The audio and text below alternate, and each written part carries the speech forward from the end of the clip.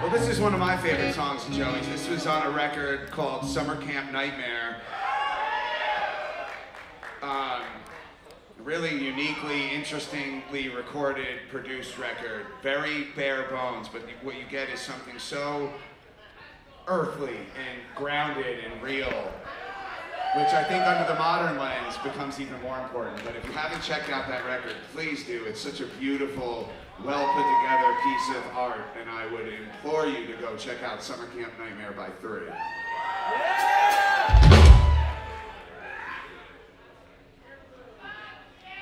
How the hell does this start? That's on me. Oh, good. Just working my way. Okay.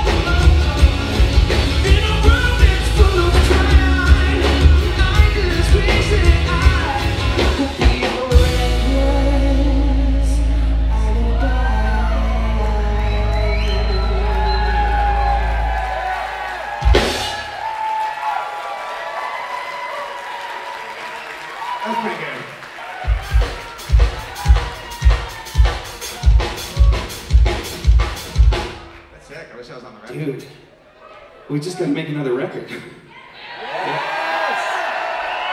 I mean, I'd love to get this guy in the studio. So,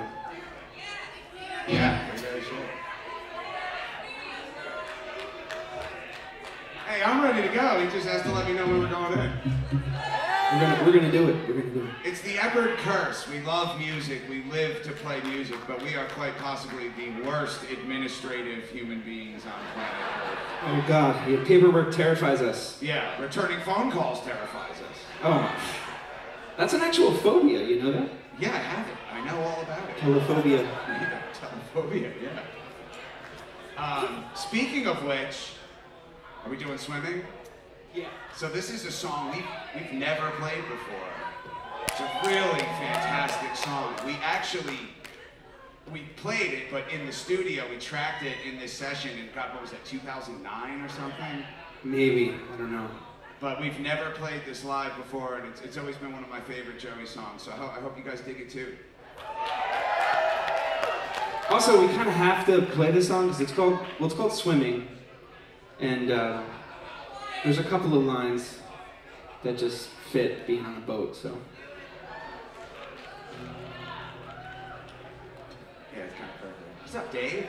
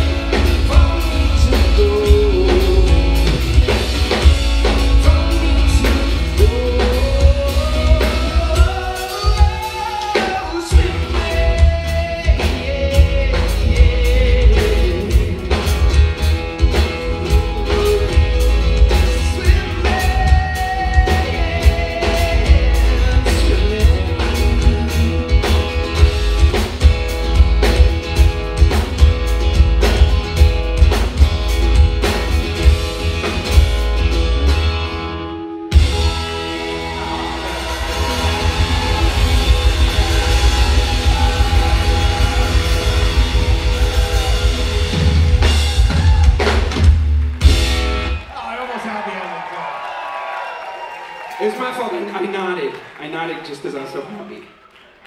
I totally. I love playing that song. What a song. That was fun.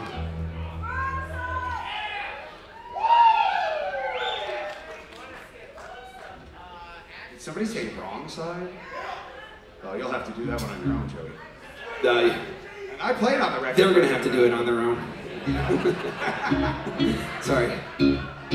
Wrong tuning. I do want to play a song from that that first three record though. Well, some of you guys know, but that first three record was me and Joey as teenagers. We signed to Universal Records. We, we got a major label record deal, and uh, we got this really, I mean, obviously unique opportunity to spend four or five, six months kind of making a record. Our job was to, I mean, I finished high school in the studio, and it was just a really unique way to grow up. I don't know that you fully know that, you know, at age 16, 17, 18, but now as adults we can look back and be, I know I am, I'm sure I can speak for you, just so thankful for like how rich we were in opportunities. And that record ended up, we got, we kind of got chewed up and spit out before we were 21 by the music business. We got signed by the president of Universal and then dropped by a kind of nameless, faceless A&R man at the company over the phone just Mhm. dropped us, which you can imagine, you know, it, it broke our hearts. His name was Bradley. If you want to find him. Uh. I'm just kidding. Poor Bradley. We love you, Bradley. It wasn't your fault, buddy. It wasn't Um, your fault. but funny story, when a label drops you, they want their masters back. They want the record you recorded, but we were like, no one works there, was there when we were there. Everyone got fired in one kind of fell swoop. So we sent them back like a collection of farts on tape. No one would ever know until now I'm saying it on statute of limitations is up on that. It actually went platinum. Yeah, it actually. Um, and we got to keep our record that we worked so hard on, and, and a bulk of that record is uh, Three's record, Paint by Number. Yeah. Um, which yeah, sounds like some of you guys know. So I think we're gonna do a song off that. We never even rehearsed this one, so holy shit, I don't know what the fuck. Oh, is gonna that's- Let's just take a wild ride. What do you guys say? See, see what happens. I'm gonna put. Check out this sound.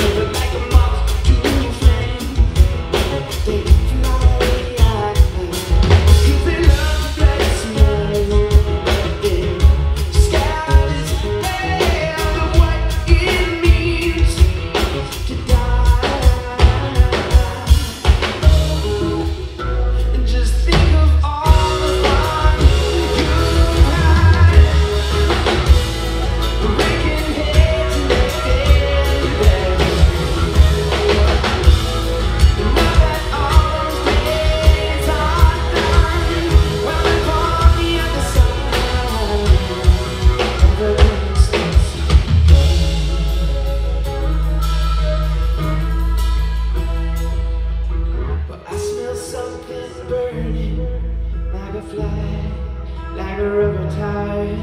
What you kids been cooking that's got my kitchen?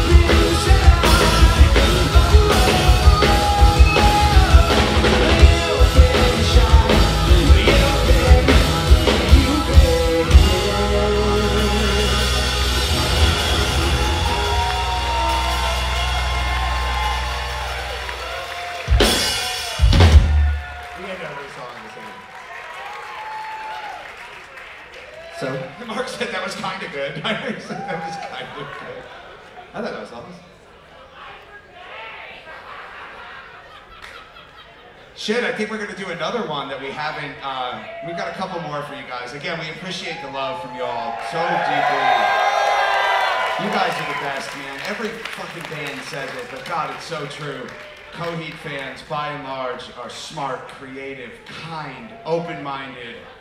How lucky are we? We're so lucky to have you guys. Sincerely, I don't mean that in like the cliche band dude way. It's such a real thing. I fucking love you guys, man.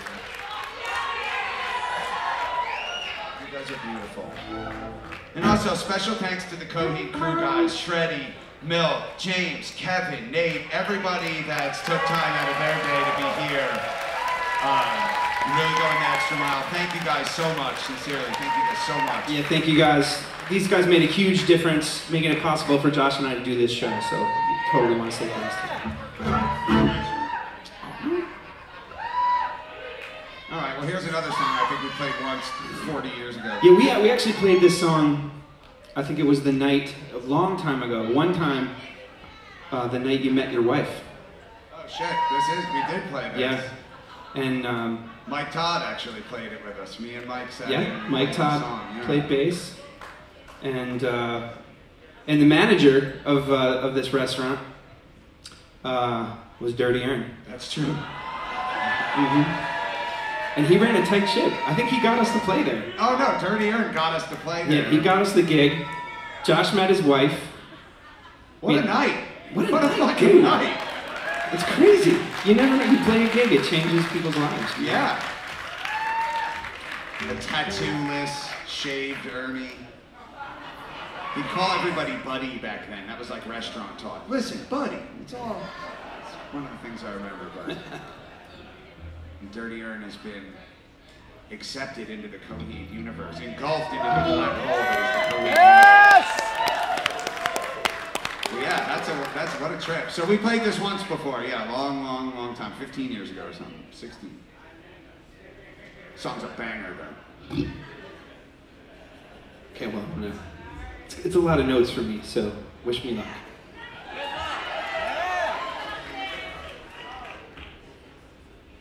Don't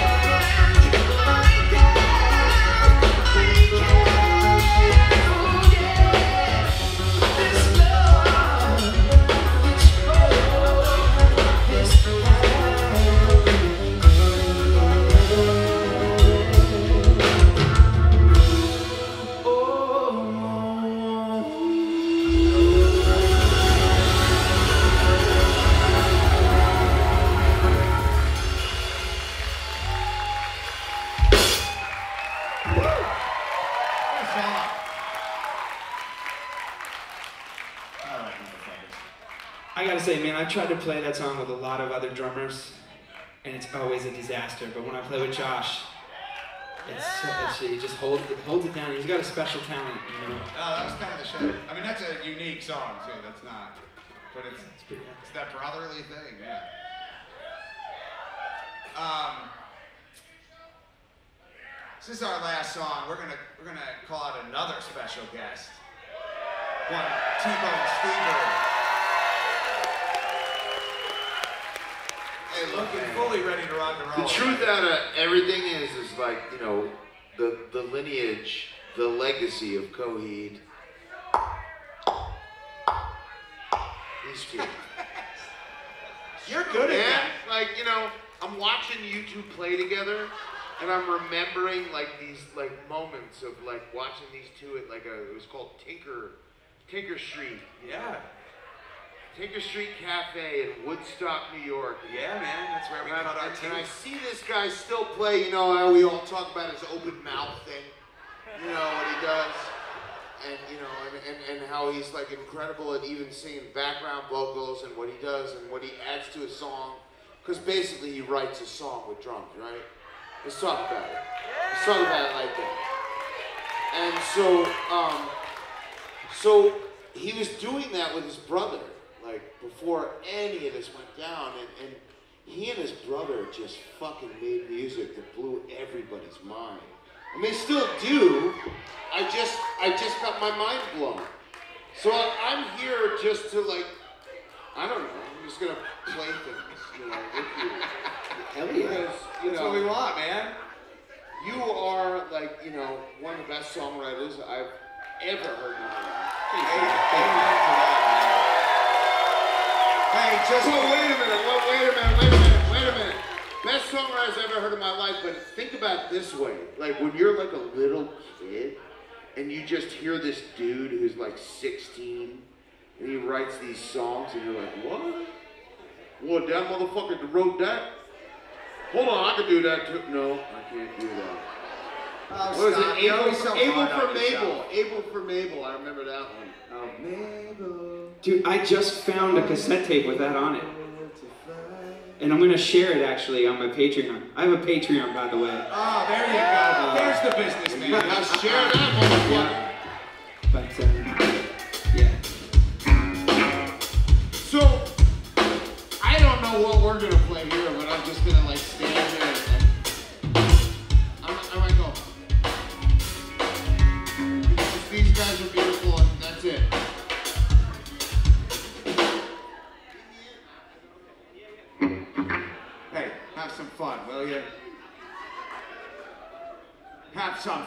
will?